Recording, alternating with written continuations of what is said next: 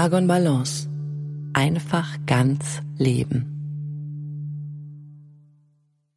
Daniel Graf und Katja Seide. Das gewünschteste Wunschkind aller Zeiten treibt mich in den Wahnsinn. Trotz Situationen entspannt begegnen. Das Praxishörbuch für Eltern. Gelesen von Tanja Fornaro. Ein Hörbuch des Argon Verlags. Wenn Sie ein Kind in der Trotzphase haben, erleben Sie im Alltag häufig Situationen, in denen Ihr Kind Ihnen besondere Aufmerksamkeit und schnelles Handeln abverlangt. Vielleicht fragen Sie sich als Eltern abends oft rückblickend, ob Sie richtig reagiert haben, als Ihr Kind sich weinend auf den Boden geworfen hat und plötzlich gar nichts mehr ging. Und ob Sie den Bedürfnissen Ihres Kindes, aber auch Ihren eigenen gerecht geworden sind. Dieses Praxishörbuch hilft Ihnen dabei, die alltäglichen Trotzsituationen Tag für Tag liebevoll und souverän zu begleiten.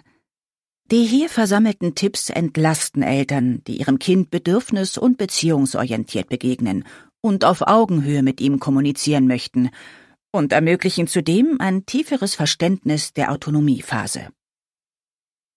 Die Themenbereiche Entspannt reagieren Ihr Kind weigert sich partout, sich morgens anzuziehen? An der Supermarktkasse fließen die Tränen? Die dazu passenden Tipps geben Ihnen konkrete Handlungsimpulse für alltägliche Trotzsituationen an die Hand. Tag für Tag lernen Sie Ihr Kind in den wiederkehrenden Situationen souverän und entspannt zu begleiten. Entspannt antworten. Ihr Kind wirft mit Schimpfwörtern um sich oder hört Ihnen einfach nicht mehr zu? Die dazu passenden Tipps decken häufige Missverständnisse zwischen Eltern und Kindern auf und zeigen, was das Kind mit scheinbar provozierenden Aussagen eigentlich meint und was Sie antworten sollten, um gut zu kommunizieren. Gut zu wissen. Diese Tipps vermitteln wichtiges Grundlagenwissen zu den Themen Kooperation, Provokation, Empathie, Impulskontrolle, kindliche und elterliche Wut Bedürfnisse und vielen mehr. Kraftsätze. Zum Schluss haben wir noch ein paar stärkende Sätze für Sie, die Eltern nie vergessen sollten. Schreiben Sie sie gerne auf und hängen Sie sie gut sichtbar auf oder merken Sie sich die Sätze und sagen Sie sie sich immer wieder vor. Doch bevor es losgeht, möchten wir Ihnen noch etwas Hintergrundwissen in Form eines kleinen Glossars mit an die Hand geben.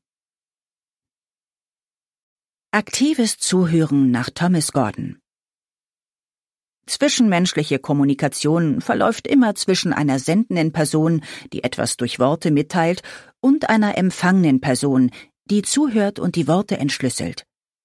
Die gesendeten Worte zu entschlüsseln ist oft nicht ganz einfach, denn die Interpretation des Gesagten ist immer subjektiv geprägt.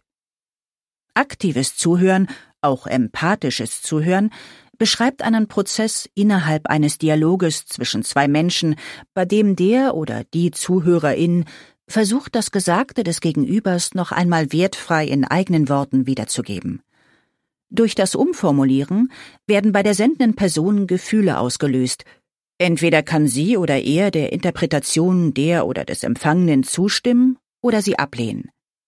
Beides löst einen Verstehensprozess aus und die sendende Person kann ihr Problem und dessen mögliche Lösung oft selbstständig erkennen. Autonomiephase Als Autonomiephase oder Trotzphase wird gemeinhin der Zeitraum zwischen dem ersten und dem fünften Geburtstag bezeichnet, in welchem es bei Kindern vermehrt zu Wutanfällen und Verweigerungen kommt.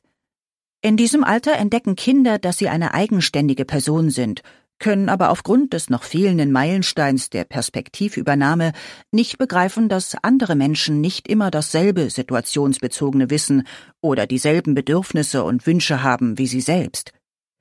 Dadurch kommt es oft zu Missverständnissen zwischen Erwachsenen und Kind.